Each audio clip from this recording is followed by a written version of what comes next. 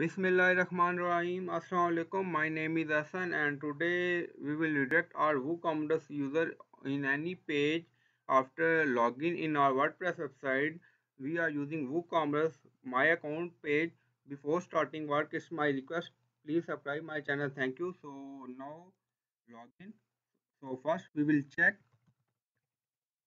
and then click on login button and now you see after login they open my account page now we will redirect to shop page or any page. So through plugin so go to dashboard and now click on add new and in such plugin write woocommerce login redirect. So this is plugin so click on install now and then click on activate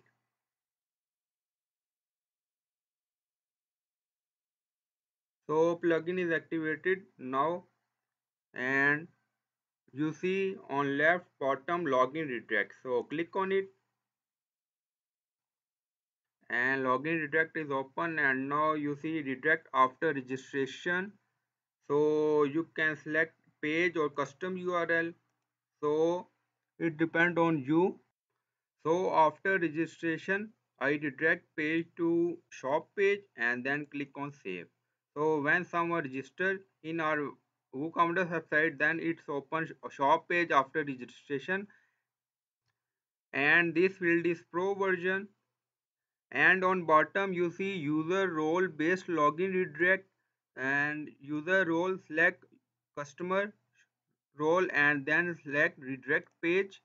So shop page and then click on save. And if you want to add more uh, rules so click on add new and select role here and redirect to any page you want and then click on save. So you can add many as you can you want. And now go to website page to check after login. It redirect to shop page or not. So first log out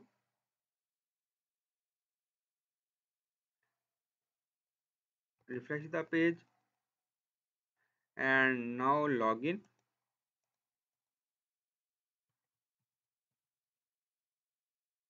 click on login now you see it's open shop page after login.